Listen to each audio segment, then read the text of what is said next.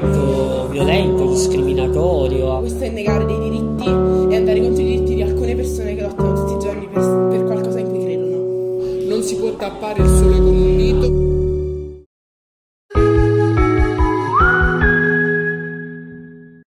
La sede di Arcigay, situata nel centro di Salerno, è stata distrutta da ignoti che non hanno rubato nulla.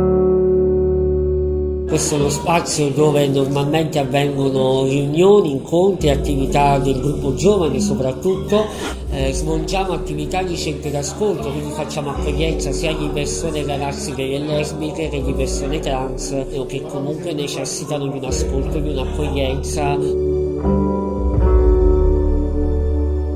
alle sette e mezza abbiamo trovato il portone esterno che è quello in ferro eh, che praticamente era stato oggetto di un foro eh, praticato probabilmente con una tenaglia spaccato la serratura esterna. Da lì hanno poi vandalizzato la porta interna che è una porta a vetri e hanno incominciato a distruggere a buttare per aria quello che c'era all'interno. Intorno a noi ci sono ulteriori segni di di violenza, perché così la dobbiamo chiamare, c'erano manifesti, c'erano materiali che sono stati eh, buttati per aria e ci siamo resi conto che non era stato rubato nulla, ci sono computer, stampanti, è rimasto tutto lì dove era e questo è l'aspetto insomma un po' più inquietante della, della vicenda perché ci fa eh, pensare a un atto violento, discriminatorio, a un atto intimidatorio. Laura Boldrini, ex presidente della Camera, ha visitato la sede vandalizzata esprimendo la sua vicinanza. E d'altra parte sarebbe anche conseguenza di un clima che sta snaturando molto il nostro tessuto sociale, eh? perché il clima di, dire, di ferocia, di, di, di, chiusura, il clima oscurantista in cui stiamo vivendo sta facendo uscire il peggio di tutti.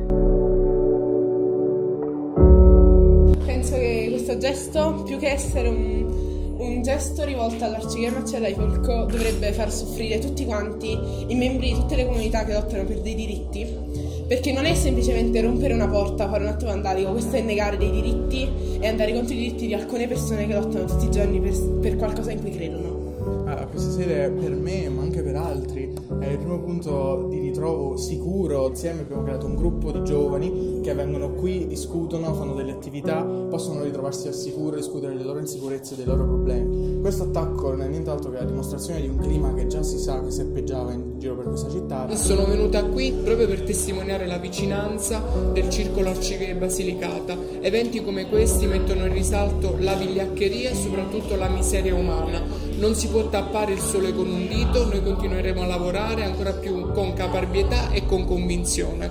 C'è paura in questo momento? No, non tanta paura, c'è, c'è stato un attimo di disagio, un di tristezza, diciamo, però insieme ci diamo forza e di certo non ci fermeremo dopo questo. E non è la prima volta che si verificano episodi di questo tipo, eh, siamo stati già oggetto di altri episodi analoghi, eh, questo tuttavia non ci ferma e la nostra determinazione è totale a tutela dei diritti di tutte e di tutti.